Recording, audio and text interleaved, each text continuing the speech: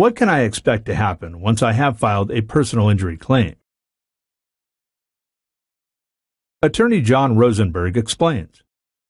If you file a claim, that usually means that you're reporting it to the responsible party and or the insurance company.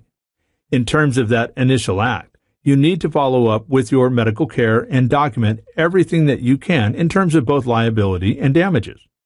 Taking pictures at the scene of the incident, getting the names of witnesses, seeing your doctor, complying with your doctor's instructions, documenting and proving liability or fault, and following up and getting police reports are all part of the process. These are the things that need to be done to successfully move forward with your claim. In terms of filing a lawsuit on your claim, you need to get the lawsuit filed in the correct court. There are deadlines when it comes to serving the lawsuit in a timely fashion.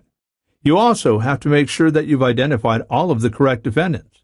All of those things are all going on at the same time, and when you already have a busy life, have family matters, work matters, and are now required to deal with your injuries and take care of these deadlines, it can be overwhelming. That's another reason why you should at least consult with an attorney to determine if the best way to move forward and protect your interests, because I guarantee you that if you do not look out for your interest in all of these respects, or retain an experienced attorney to represent you, neither a defendant nor his or her insurance company will do it for you.